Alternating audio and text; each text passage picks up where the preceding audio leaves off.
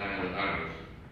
Los que menos tenían paradójicamente también más abandonados, porque el entorno, los recursos, las alternativas que tienen nuestros jóvenes no son las que tienen las familias con más recursos.